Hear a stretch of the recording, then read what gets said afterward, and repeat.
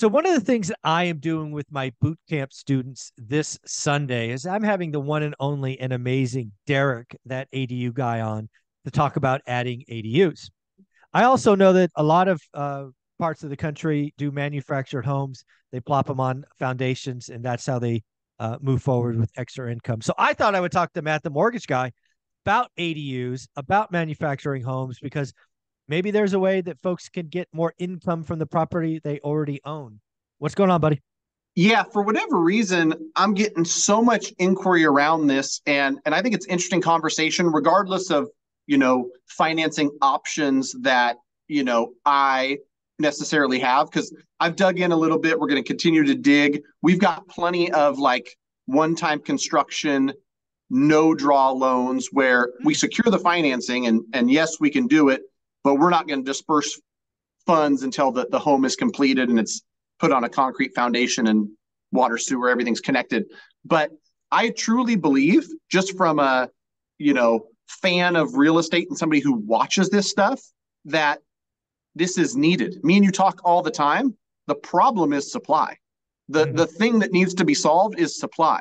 I there's no program that i could come out with that would fix housing. There's no program that's that's a magic bullet.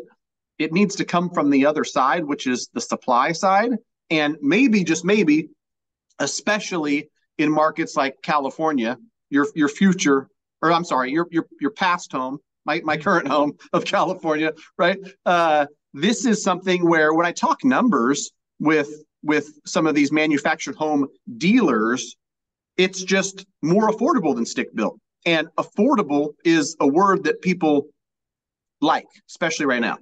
Yeah.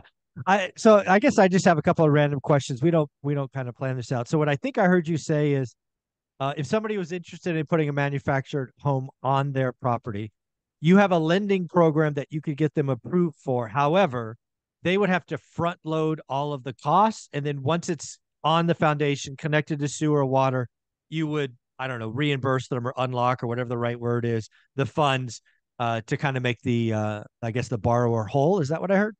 Yeah, and and really, from what I understand, because I'm no expert in in this type of financing, is sure. this one time construction is is like new construction. So I'm not even necessarily saying like with an ADU. I, I would okay. I would say for sure there's a plot of land you own and you're going to build a home on it that will be able to secure the financing, approve the loan, mm. but then whoever's going to deliver, install, hook up, right. all that is not going to get paid until it's actually there. Got and it. I know that the the exploratory conversations we've had with manufactured home builders and our, our lending partners is like, can we get them paid mm.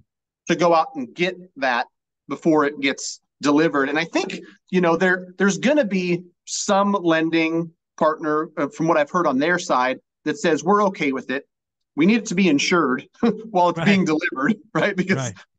falls off a truck somewhere on the way. Not that's not going to help anybody.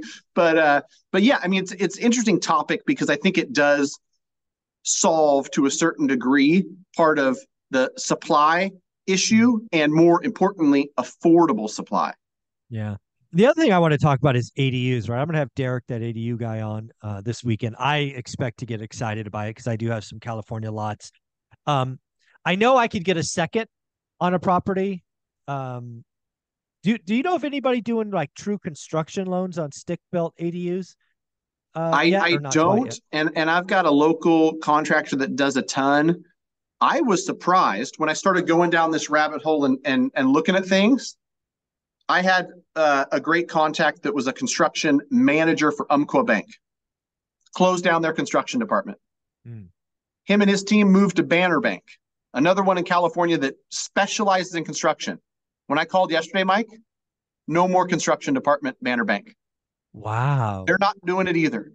And so, you know, it's it's an interesting environment in lending in general and that not being my wheelhouse that being something sure. that i'm reaching out to the experts to, to find out about um, i was like surprised well i guess well, uh, it, it's, it's pretty interesting because something i told lance lambert uh, like six months ago was i expect this housing depression uh, to actually take out the regional banks, the small lenders, and constru- building's going to stop.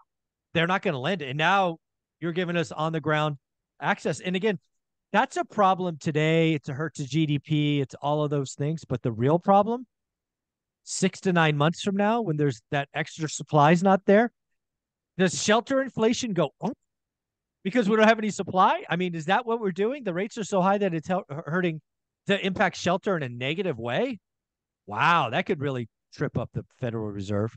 Right. And that's and that's why, you know, whether it's stick built, whether it's manufactured, like we got to find a way to deliver more supply. And so if there's a way for for us to finance it on our side, or even if it's not me, even if I find somebody who's willing to do yeah. that for the good of the cause, right? It's it's right. it's going to be helpful because um to to these manufactured home, like the guy I talked to yesterday has been doing it for 27 years. Um, and and they're really good at it, working with all you know Silvercrest and Champion and some of the big um, manufactured home builders. Um, most people look at a six hundred thousand dollar house with five or ten percent down. They're just they're out of the game, right? Yeah. And yeah. so if if if it's an affordable option, um, it's going to be welcomed with open arms. Yeah.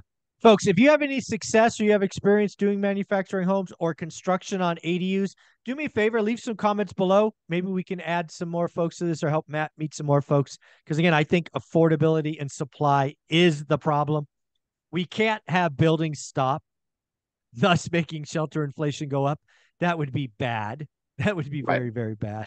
But if somebody wanted to get started in this or reach out to you, Matt, how would they do that?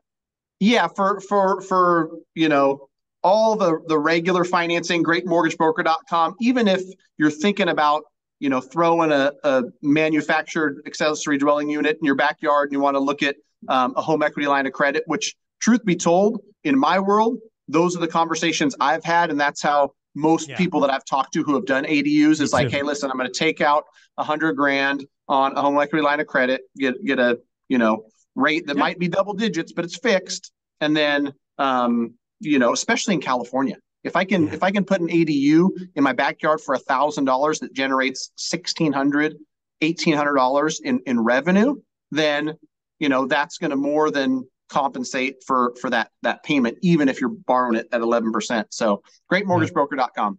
Thank you, buddy. I appreciate you. All right, thanks, Mike.